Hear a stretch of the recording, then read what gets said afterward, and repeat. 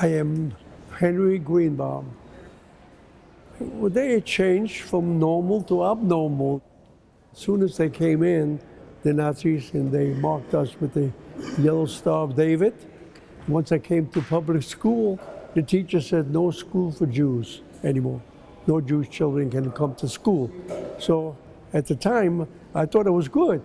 I'll be out there playing all the time, but mine lasted for five years, so I didn't like that.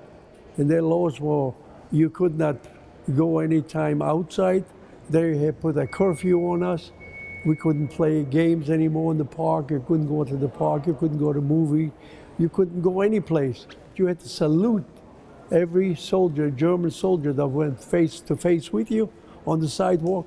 You had to stop off the sidewalk and take your head off and stay attention and let them walk through. If you didn't obey, you got whipped, and you don't want to get a whipping from them.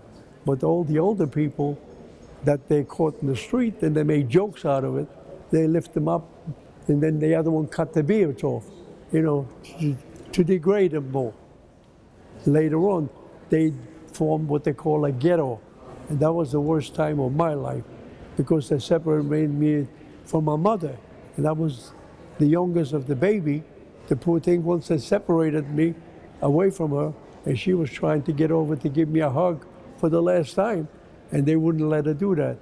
So she yelled over to my sisters, take care of your little brother. And that's the last time I saw my mom.